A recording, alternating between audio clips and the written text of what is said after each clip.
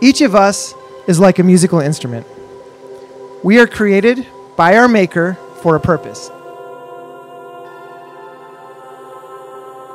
And that purpose is to bring beauty and love into the world around us and to glorify the composer.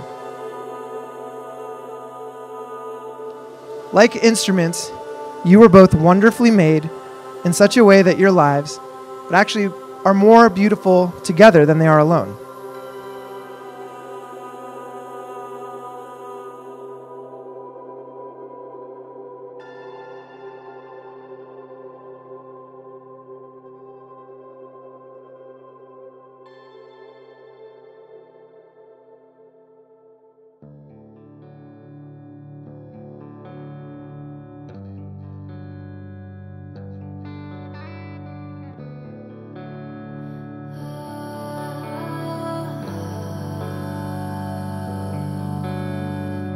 I'm actually so happy that we get to celebrate our wedding like this, two years into marriage. For me at least, I have grown in so many ways, and the words I get to vow to you come from such a genuine place.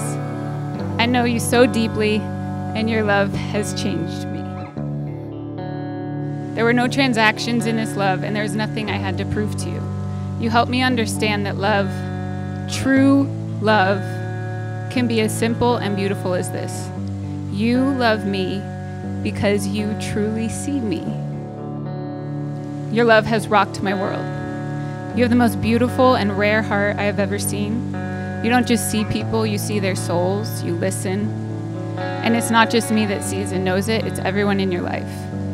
You have touched so many people by your thoughtfulness. You are so special, and I am so grateful to be your wife. It only points me to God and reaffirms how good He actually is that He would give me the most precious gift of you. I don't love you because of anything you do for me. I love you because of who you are to your core.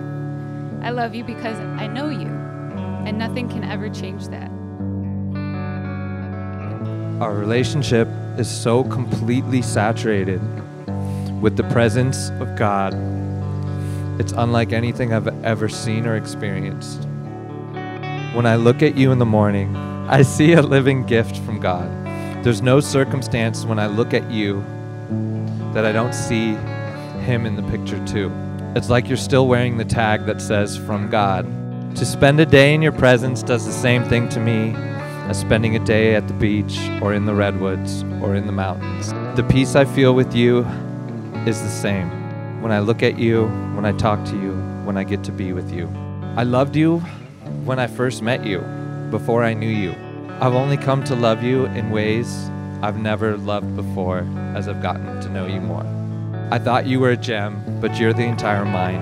I trust you, I respect you, I believe in you, I admire you. I vow to always protect you. I vow to always invest in you, to always help you and watch you grow. I vow to keep us focused on God. I vow to be yours from now until the day I die and then forever after. I vow to always love you, not from the limits of my own love, but from the truest form of God's unconditional love. I vow to always remain grateful for you and this beautiful life. I vow to be a safe place for you and to have open arms of love always, no matter what the circumstances. I vow to challenge myself to wake up and to truly be present with you every day, to look into your eyes, to see you and to hear you. I vow to commit to remembering that we are on the same. I vow to support you in whichever directions your dreams are going to take you. I vow to be kind. I vow to forgive. I vow to cherish you in your heart always. I vow to love you, truly love you every single day for the rest of our lives. And I hope and pray that my love for you can always be changing you for the better, just like your love has for me. I am so pleased to pronounce your marriage today. Everyone, please join me in celebrating for the first time since this wedding ceremony, Ammar and Chyna Mount.